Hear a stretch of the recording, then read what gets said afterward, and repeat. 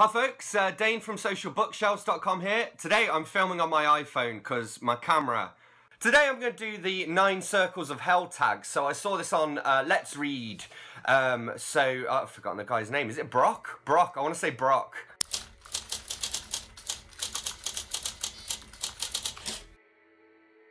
Yeah, so he did the nine circles of hell tag, and he uh, said he was going to tag anyone who's read uh, Dante's Inferno, which I think I've read.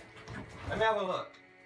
So I have read Dante's Inferno, although I did have to check, so I, obviously didn't pay that much attention. Um, so he said anyone who's read this is tagged, so I was like, yes, tagged, even though I could have just done it anyway, really. Um, let's get started. Question number one, Limbo. What book have you read the first in the series of, but won't be reading the rest? Okay, well that'd probably be one that I've been sent, so you can probably see my my eyes scanning my bookcase trying to find one.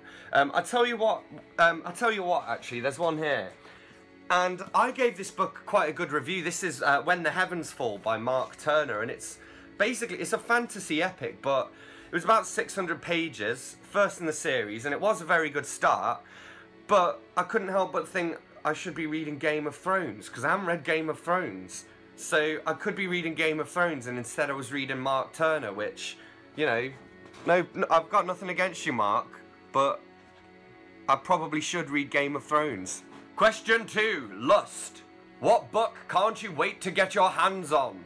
Um, I suppose this would be uh, Gravedigger by Michael Israel Jarvis. Um, so he's one of my fellow authors at Booktrope, but he's also a friend of mine, and I've got his uh, original self-published version of Gravedigger. But actually, uh, yesterday, or at least yesterday at the time of filming, on, on Halloween, um, Gravedigger was re-released through Booktrope, which is my publisher, and it's got this really nice new cover and just nice editing and everything. I, I, I really want to uh, reread it, so yeah, that. Gluttony! What book or series could you read over and over again?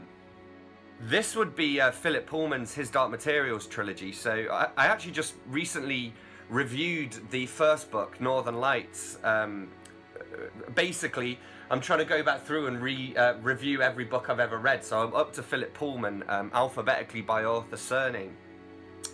And that's my favourite book ever.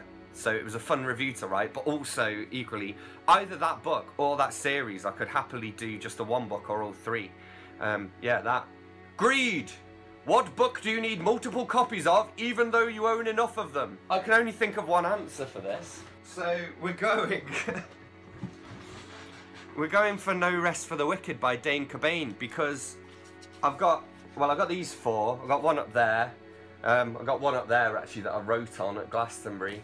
Got loads at work, because I'm Dane Cobain, by the way. Just should clarify that. And this is my book. Go buy it.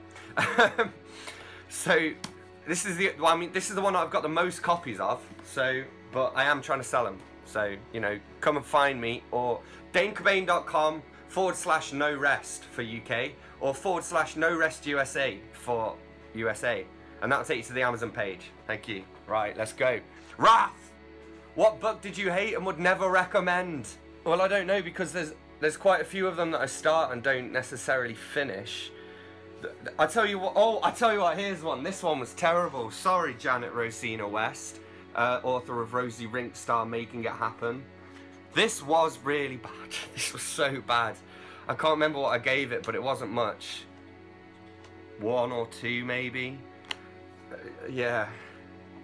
In my defense, it was sent to me. Heresy. What book or series that most people despise did you love? I would go for the uh, the Heroes of Olympus uh, series by Rick Riordan. He, he uh, I got sent the Blood of Olympus, which is, to be fair, the last book in the series, and I'd not read any of the others, and I read it, and I didn't really get what the fuss was about. So, you know. Oh no, that's the other way around. But again, the most people despised that I loved. There was a Graham Greene one. The, the closest I can think of was there was this Graham Greene book, and I think it was. Um, um, Dr. Fischer of Geneva or The Bomb Party. And when I posted my review on Amazon, um, I found five people had reviewed it and each had given it a different rating. So there was one one star, one two star, you know. Um, and then I ruined it by giving it, I think, four stars. But um, and then I got a comment on my blog about it as well from someone, and they were like, "Yeah, this book was terrible." I thought it was good, so, you know, screw you. Violence! Which dystopian series had the most violence in your opinion?